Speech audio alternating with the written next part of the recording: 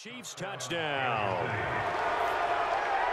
Fumbles, that's how you get in the coach's doghouse. The first one lost and it hurt. This time you lose it and it's taken in for a score. Oh, it's a fake. They'll try and throw for it. Quick hitter here, it's complete. And he gets in. Well, no one was expecting a fake there, but they add two more onto their lead. Partner, they're up big.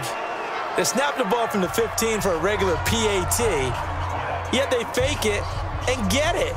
Is the kicker's leg tired? What's going on?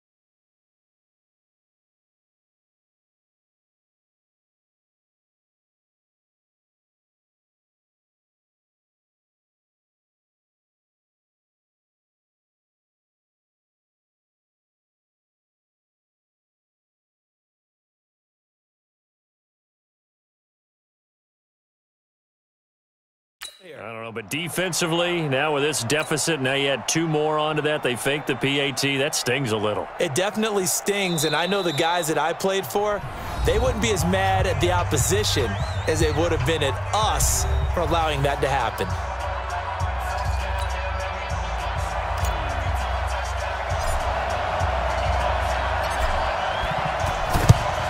And the 49er hands team does its job. The risk reward of the onside kick, when you don't get it, the risk comes out to play, and here they gave up great field position. And that's the key to everything because you're trying your best to press advantages when you have them, and field position leads you to that type of play calling, and whether you want to blitz or whether you want to throw the ball deep, those types of things, now they've given up that type of field position, the advantage is switched to their opponent. Back now here in Santa Clara. And this is a blowout so far as we get set for the fourth quarter. A very one-sided affair. Throwing on second down. Garoppolo. Jordan Matthews, the one he was looking for. And it's third down. The Niners on third down. They're at 50%, four for eight. This is third and 10. Looking to throw, Garoppolo. And that will be incomplete. Another wayward pass. You know, things started out poorly in this game, and to be frank, they just really haven't gotten much better. And all that does is embolden a secondary. They feel good about what's going on, and they just play better and better. 46 on his first kick. This one in that neighborhood as well. And problems spreading to the punt team now. This one goes all the way into the end zone on the fly, so that'll come back to the 20. Here's the Kansas City offense now as they get set to take over. The outcome of this one, well, we know who's going to win it. It's just all window.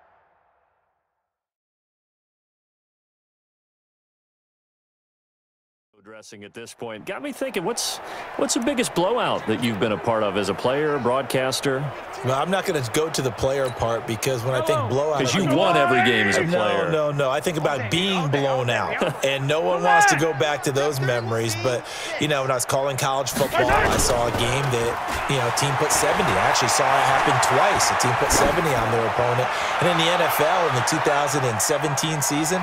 I saw one of those changing of the guard games where a team that hadn't been very good before now was dominating and kicking around a team who had been ruling their division. And that's when you earn your paycheck, right? Yes, as, the, as, the, analyst, you got to fill that time. You've got to know what's going on out there and how it all happened. Well, obviously, that begs the question, what game was it? That was Seattle hosting Los Angeles, the Rams. Ah, yeah. Their second meeting of the season, and the Rams turned it around from the first one and blew out the Seahawks. Now he's going to throw it deep to the other side of the field. And that is caught one-handed. Oh,